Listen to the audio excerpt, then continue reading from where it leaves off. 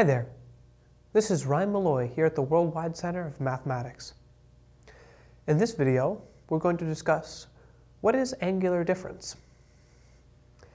Now, angular difference, sometimes referred to as angular distance, is simply a measurement of the observed angle between two objects. So suppose that you have two objects, A and B. You might think of them as stars or chairs in a room or anything really. And you have some observer.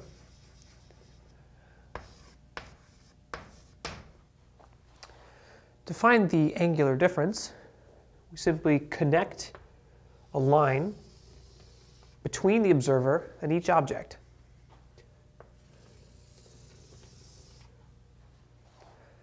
And then measure the angle between them.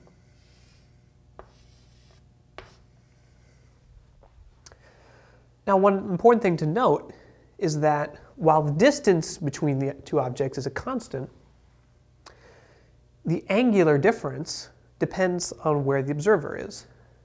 So for example, this angle is going to be quite different from this angle.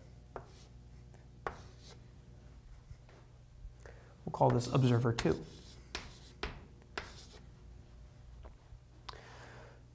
Now, the reason why this would be helpful or useful is that if you have a very wide angular difference, one of two things must be true. Either the two objects are very far apart, or the observer is very close to the two objects. So the opposite is also true. If the angular difference is very small, like if we were to say theta is only 5 degrees,